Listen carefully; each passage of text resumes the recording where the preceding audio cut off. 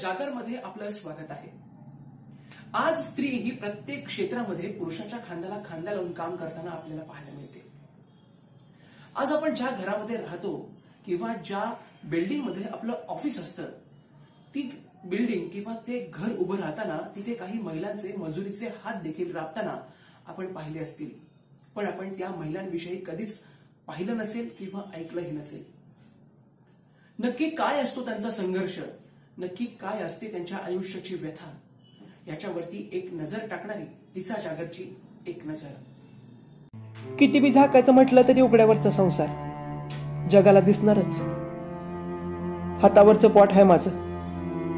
हात चालतील तवर पॉट चालणार. पोरांची भूक मिटवायला चार घास त्यांच्या तोंडात ढकलता येणार. नवऱ्यासोबत मजुरी करते तवा कुठं संसाराचा हातभार लागतो.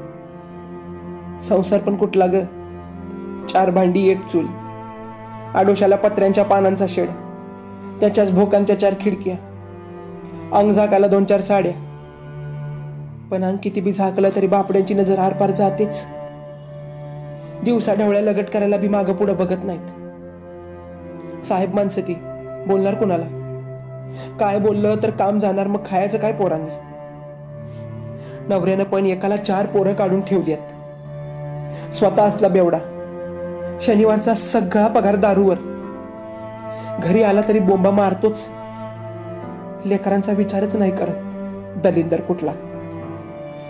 रात्री अंगाखाली झोपायला बायको आठवती. ती भूक लागली की येतो लगच लगट करायला. डोळे मिटून गप्प सहन करायचं. तसंही गरीबाला आवाज नसतोच म्हणा. एखाद्या वेश्येला पण तिच्या मनाप्रमाणे ठरवता येतं. पण आम्हाला ती सवलत नाही.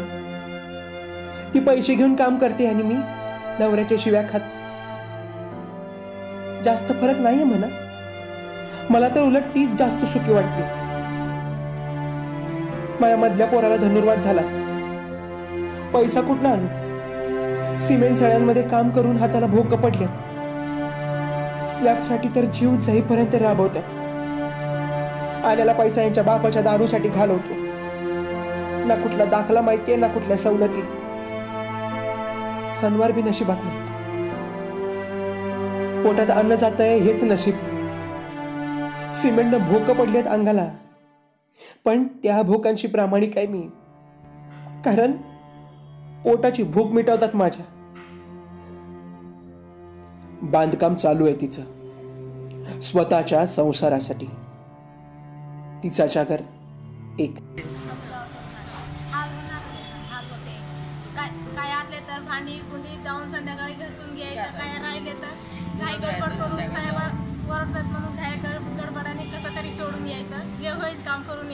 येते आमचा मुलगा आता शाळेत ठेवले गावाकडे सासूकडे सोडले मध्ये सोडले काय सासू सासू सोडले. अच्छा. हा. मग असं दिवसभर इथे काम करताना मुलांची काळजी वाटत असते का मनाला? काय राहिलंच नाही आता. कुणाला सांगायचं? काळजी वाटते. मोबाईल असते तर फोन बिन लावते मुलाशी बोलते. अच्छा.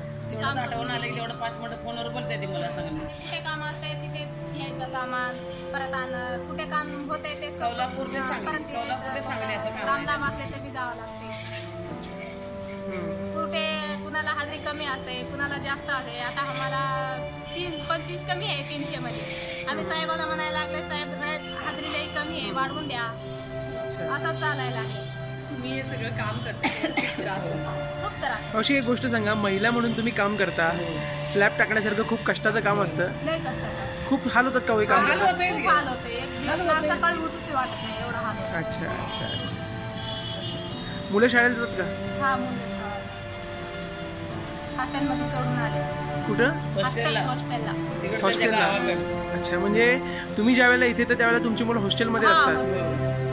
आपण जा- इथून गेले की एक पाच दहा दिवस सुट्टी काढून आणायचं. परत आम्ही इकडे आले की तिथे सोडून यायचं.